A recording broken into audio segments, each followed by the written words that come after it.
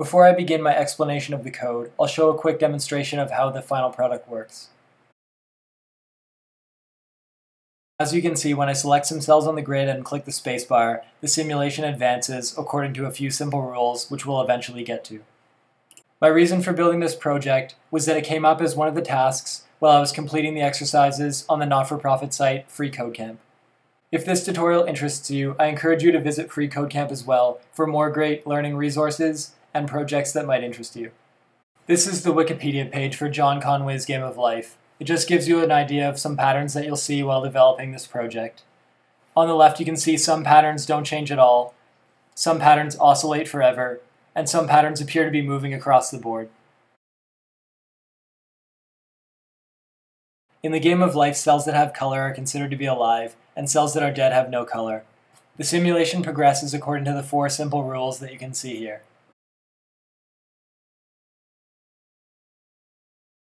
John Conway first publicized the game in a 1970s issue of Scientific American.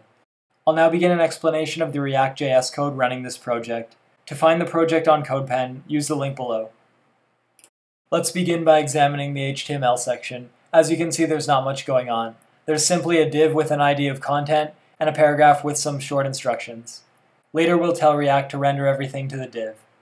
The CSS section is also quite short. We simply describe how the borders should look, what size cells should be, and the color difference between living and dead cells.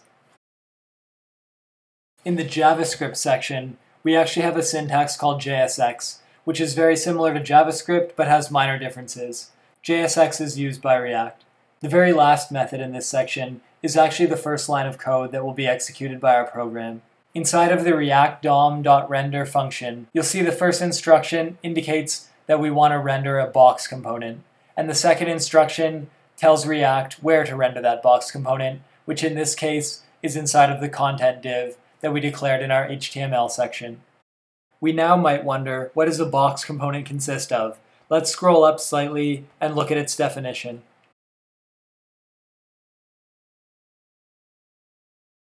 A box component is a React class. In this case, it has two main methods.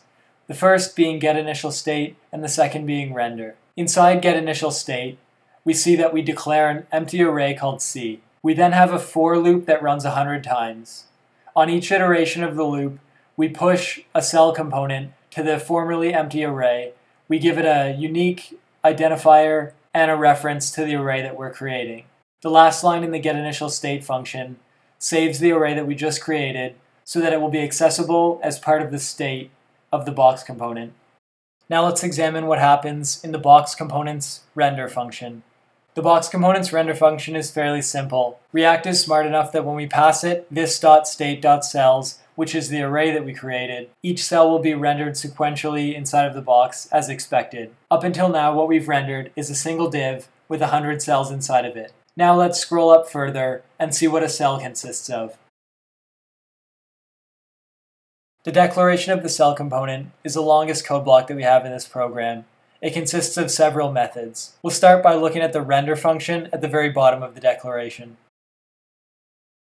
According to the render function, we can see that each cell consists of a division, with a class name and an on-click handler. The class name of each cell is governed by whether or not the cell is selected. If this.state.selected is true, then the cell will have a class of cell and active.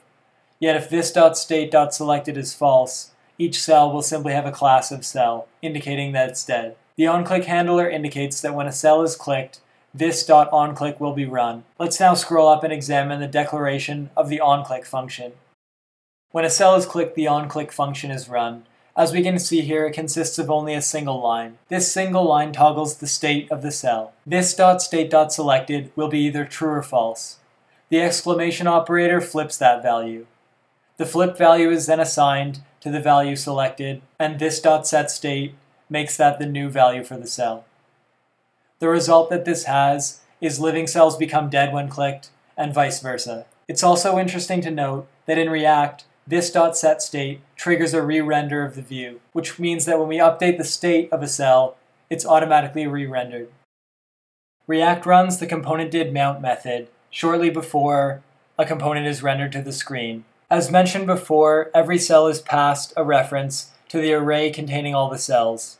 We can access this array using this.props.cells. The first line of this method updates that global array with a reference to the state object for this cell component. It does this so that at any time, any cell can access the state of any other cell. This is very important functionality when we try to determine how many neighbors a cell has, which is an important thing to determine given the rules of the game of life. Under certain circumstances, we want to indicate to our cells to calculate what their next value will be. We also want to be able to tell cells to render their next value. These next two lines of code tell every cell to listen for two events, one that we call calculate and one that we call render next. When we scroll up, you'll see that events is simply a blank object, but we can still use jQuery to tell each cell to listen for events on that object.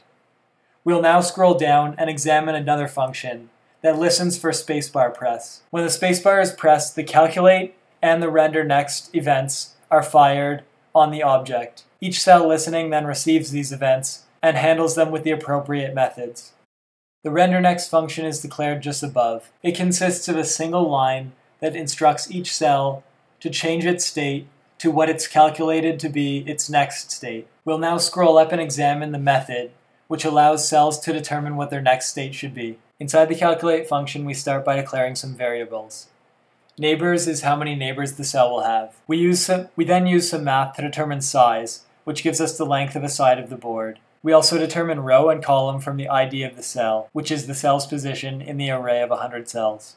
Every cell has 8 neighbors. We then check each of the cell's neighbors to determine if that cell is alive or dead. If it's alive, we increase neighbors by 1. The function this.isSelected is declared above, and we'll cover it shortly. Now that we know how many neighbors the cell has, we can apply the rules of the game of life to it to determine if it should live to the next round. We don't want to set this.state.selected directly because that would cause the cell to re-render immediately and future cells would miscalculate. So we save the state of the cell in this.state.next state so that we can later use that value to re-render the cell properly. We'll now examine one of the methods that we used earlier, this.isSelected. We passed it a row and a column and expected a true or false value indicating whether that cell was alive or dead in return. The isSelected function first calculates the length of a side of the board and calls it size. There's then four if statements. In order to explain what these if statements do, I'll give an example of how the first one works. As you can see, if a cell is requested that's in row minus 1, the row is changed to the final row, which in this case would be row number 9. A short formula is then used to convert the row in the column back to an ID, which can be used to look up the cell in the global array and determine whether it's alive or dead. There's one more method that a cell component has called getInitialState. GetInitialState sets up the initial state of a cell before anything else happens. It initializes the different elements of state of a cell component to false. I hope this explanation motivates you to continue working on FreeCodeCamp projects. Thanks for listening to my explanation.